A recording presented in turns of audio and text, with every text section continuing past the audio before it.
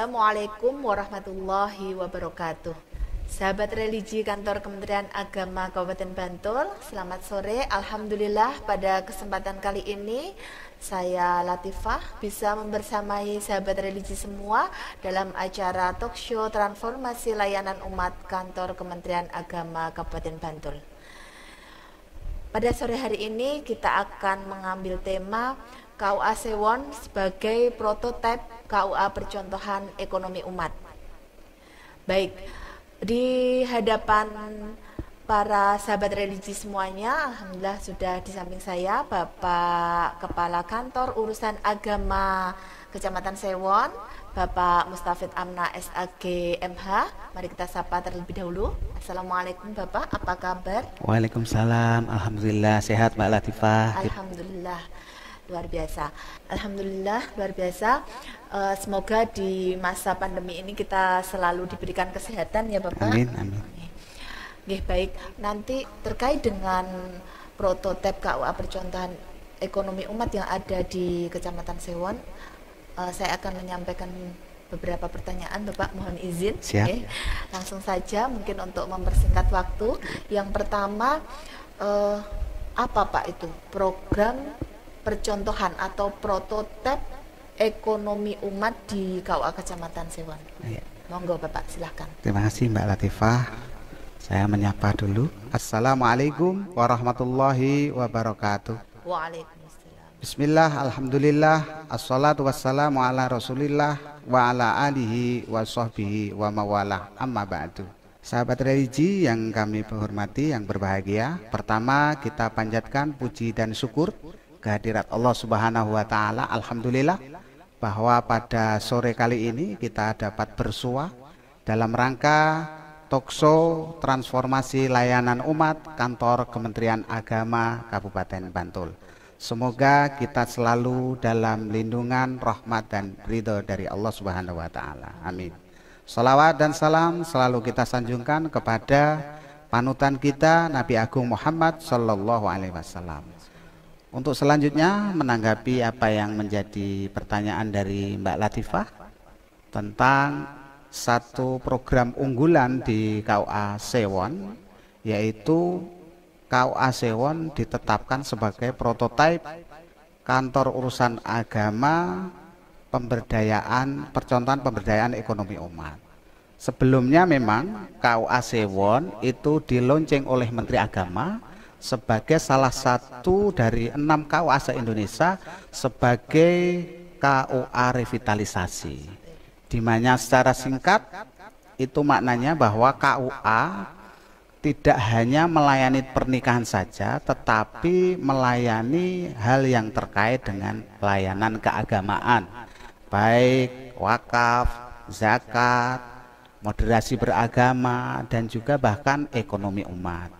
Maka dari itu untuk menindaklanjuti dari program revitalisasi KUA ini Kementerian Agama melalui Dirjen Bimas Islam mengeluarkan surat keputusan nomor 489 tahun 2021 bahwa KUA Sewon ditetapkan sebagai KUA prototipe KUA percontohan pemberdayaan ekonomi umat. Itu maksudnya apa? Bahwa Kementerian Agama telah mengucurkan akan mengucurkan dana sebesar 100 juta rupiah bagi 10 calon penerima manfaat masing-masing 10 juta. Nah, siapa saja mereka? Ini ketika juknis awal yang telah disampaikan kepada kami itu di antaranya adalah calon penerima ini adalah pasangan muda yang telah menikah yang maksimal berusia 35 tahun. Mereka mempunyai usaha kecil dan juga bisa terkena dampak COVID-19 sehingga mereka tidak mampu untuk mengembangkan usahanya. Di samping itu mereka juga harus menjadi salah satu binaan dari penyuluh agama KUA Kecamatan Sewon baik penyuluh fungsional maupun penyuluh non PNS. Nah, ini kita mempunyai mandat oleh Dirjen Bimas Islam untuk melaksanakan asesmen bersama mencari 10 orang sesuai dengan juknis. Alhamdulillah walaupun dengan waktu yang sangat singkat sudah kita temukan 10 orang. Namun demikian 10 orang ini harus uh, membuat proposal dan juga harus dilakukan asesmen. Apakah layak betul atau tidak? Dari 10 ini kebetulan semuanya layak. Walaupun sebenarnya kalau mungkin salah satu ada yang tidak layak ya harus kita deal. Tetapi alhamdulillah dari 10 eh, calon penerima ini semuanya eh, bisa ditetapkan eh, dalam pertemuan kami selaku penanggung jawab dan juga para penyuluh dengan uh, Dirjen Bimas Islam melalui di Jawa Pusat uh, secara Zoom. Uh, setelah itu kita menetapkan 10 orang penerima itu, yaitu pertama adalah usaha ternak lele, yang kedua adalah ternak nila, yang ketiga ternak ikan hias, yang keempat angkringan, yang kelima camilan, yang keenam batik usaha batik jual batik yang ke tujuh usaha baju muslim terutama baju muslim wanita yang kedelapan hadroh yang kesembilan sablon dan yang ke sepuluh JNT demikian Mbak Latifah luar biasa sangat beruntung sekali uh, apa namanya uh, para 10 penerima tersebut ya Alhamdulillah ya. kita sangat menarik ini. Uh, tapi saya ini kita mohon izin break terlebih dahulu. Ya. Uh, sahabat religi sekalian, uh, mari kita saksikan break terlebih dahulu.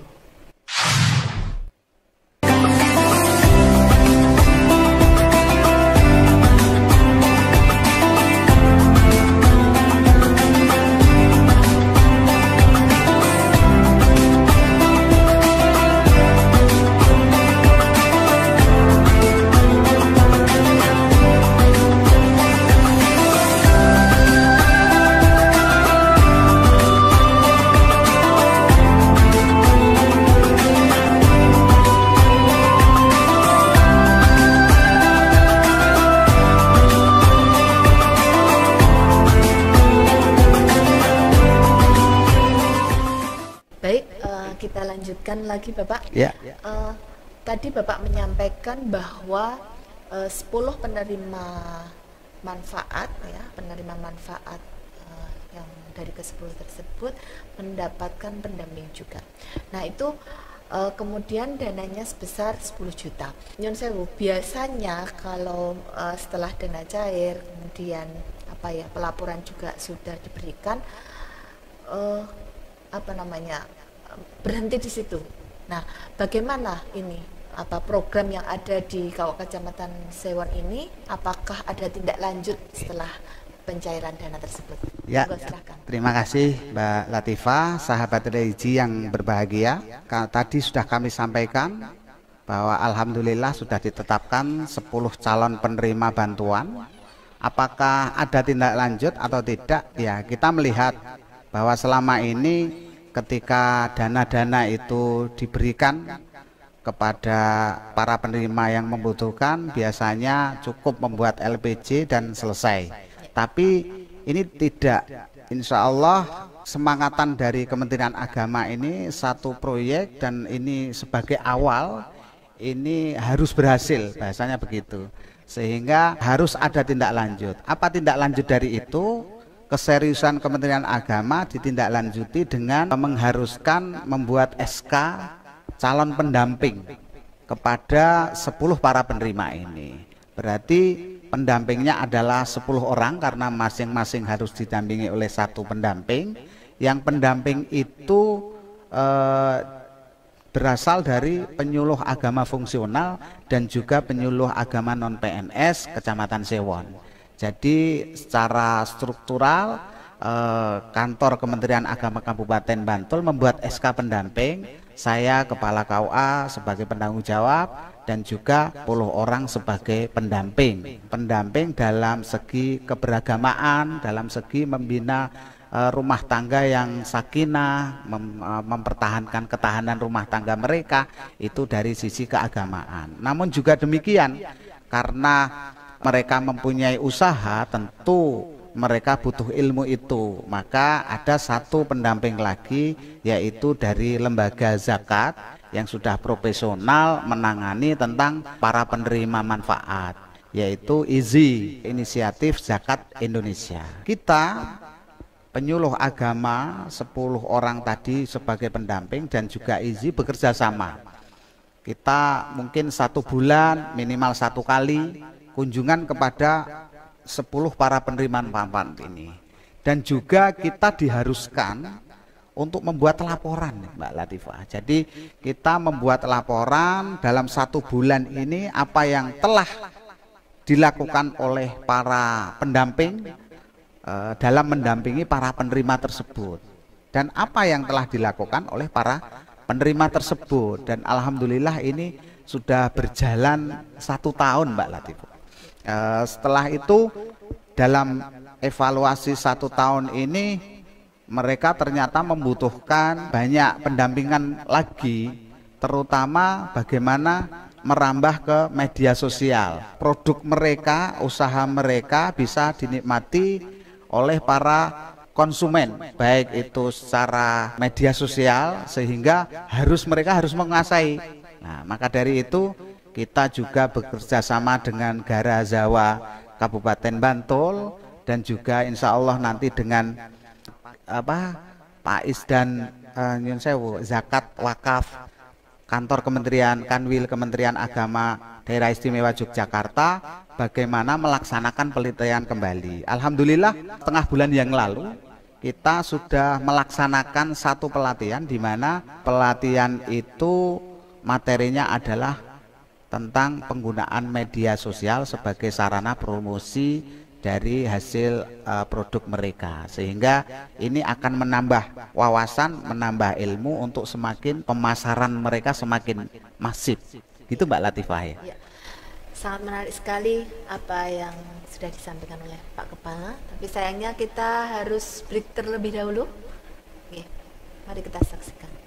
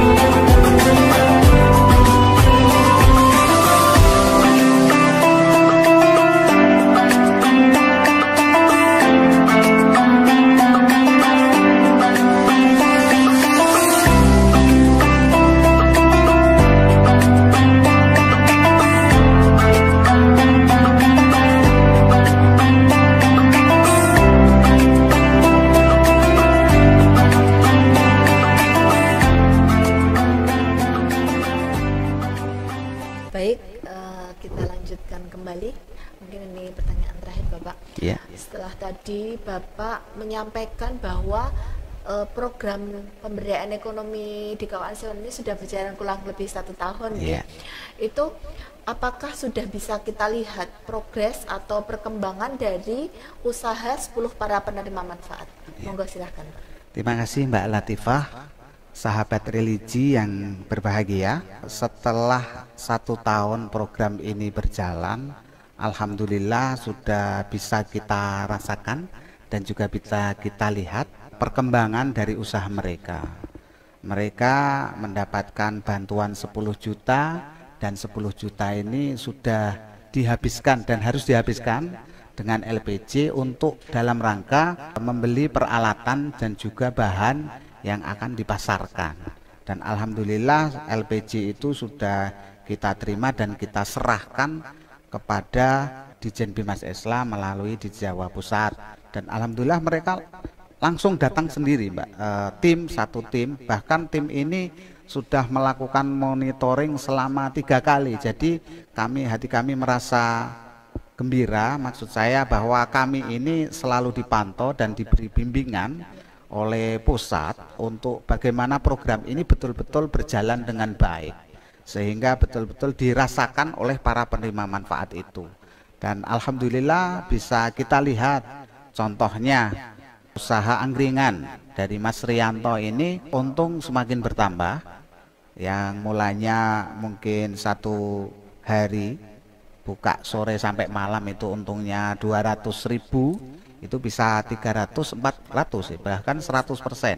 Dan alhamdulillah ini sudah ada pengembangan cabang dari usaha itu. Kan ini berarti betul-betul sangat manfaat ya bagi Mas Rianto. Dan barusan juga kita pantau dari perkembangan usaha Mbak Tri Rohmawa, Rohimawati usaha jual batik itu ya. Alhamdulillah orderannya semakin banyak. Ketika pandemi kemarin tidak banyak yang beli gitu sehingga orderannya kurang untuk beli barang yang baru kesulitan dana karena memang namanya baju itu kan harus mengikuti zaman mengikuti waktu. Makanya harus beli yang baru. Maka dari itu dengan adanya bantuan 10 juta itu sangat manfaat sekali. Alhamdulillah Mbak Tri ini mengatakan e, orderan semakin banyak. Nah, ini baik dari instansi maupun dari masyarakat umum ya. Nah, nanti bisa kerjasama dengan koperasi atau yang lainnya. Alhamdulillah. Eh, yang lainnya juga contoh usaha sablon dari Mas Farda ini. Alhamdulillah juga sudah berkembang bahkan eh, sekarang pandemi sudah agak sirna, orang yang membuat seragam dan sebagainya sudah mulai banyak dan dia eh, selama ini dalam usaha sablon ini jahit, ada mesin jahitnya atau yang jahit itu kan orang lain itu ya. Nah, dengan adanya bantuan 10 juta ini dia memberanikan diri untuk mencoba sedikit demi sedikit karena sudah mendapat keuntungan yang lebih untuk membeli mesin jahit sendiri sehingga dia malah mencari pekerja untuk bisa menjahit sehingga insya Allah ini akan meminimalisir dari modal sehingga akan memaksimalkan uh, hasilnya. Jadi dari beberapa dari 10 penerima ini minimal 50% sudah menikmati keberhasilannya. Ada sebagian yang memang karena belum panen ya, umpamanya usaha e, ikan nila. Karena nila itu agak lama dan dia belinya dari e, benih yang sangat lembut sehingga akan e, butuh waktu gitu. Yang Mas Rozak usaha lele ini alhamdulillah sudah panen. Dua kali panen yang pertama agak berkurang tapi panen yang kedua ini alhamdulillah sudah melimpah. Jadi kami sebagai penanggung jawab dari program ini dan juga para pendamping baik dari penyuluh agama fungsional maupun non PNS dan juga dari IZI merasakan betul perkembangan dari usaha teman-teman kita pasangan muda dari Sewon eh, sehingga akan menambah ikan mereka itu Mbak Latifah ya. Ya, sangat luar biasa sekali ya. Terima ya. kasih Bapak atas penjelasannya. Uh, ini terakhir, terakhir sekali Pak. Mungkin Bapak bisa menyampaikan kesimpulan ya. atau kata terakhir dari bincang kita sore hari ini supaya ya. sahabat religi di Kementeri, kantor Kementerian Agama Kabupaten Bantul ini bisa lebih memahami lagi. Iya. Terima kasih, Terima kasih Mbak Latifah, uh, sahabat religi yang berbahagia kesimpulan dari apa yang saya sampaikan dari awal tadi bahwa dengan adanya satu program unggulan di KUA Sewon ini akan menambah kepercayaan bagi masyarakat yang pengguna layanan di KUA Sewon bahwa KUA Sewon ini tidak hanya melayani tentang pernikahan saja tetapi juga layanan tentang keagamaan baik wakaf, zakat, pembinaan calon pengantin, bahkan pasca pernikahan pun akan kita bina. Dan juga salah satunya adalah pemberdayaan ekonomi. Pemberdayaan ekonomi ini sebenarnya salah satu usaha bagaimana menciptakan sebuah keluarga itu sakinah mawadah warohmah, keluarga yang tahan, Ya, dalam artian mereka mem bisa mempertahankan diri keluarganya ini dalam satu segi yaitu ekonomi mereka harus kuat. Di samping itu religiusitas mereka, keberagamaan mereka juga kita berikan penyuluhan sehingga dengan adanya program ini akan menyempurnakan program pembinaan keluarga sakinah di kantor urusan agama Kecamatan Sewon. Mungkin itu Mbak Latifah yang bisa kami sampaikan. Baik, terima kasih sekali Bapak atas waktu dan juga penjelasannya. Oke. Sahabat religi yang dirahmati Allah Subhanahu wa taala, demikian tadi perbincangan kami tentang KUA Sewon sebagai prototip KUA percontohan ekonomi umat Uh, saya ikut mendoakan semoga nanti ke depan KUA Sewon bisa menciptakan inovasi-inovasi yang lain lagi, Amin. yang baru lagi, ya. Kemudian tentunya juga uh, tetap menjadi atau tetap di hati para masyarakat di Kabupaten Bantul pada umumnya dan juga masyarakat Sewon pada khususnya. Okay. Dengan demikian berakhir pula talk show transformasi layanan umat kantor Kementerian Agama Kabupaten Bantul. Saya mengucapkan selamat berbuka puasa. Semoga ibadah kita diterima Allah Subhanahu wa taala. Akhirul kalam. Wassalamualaikum warahmatullahi wabarakatuh.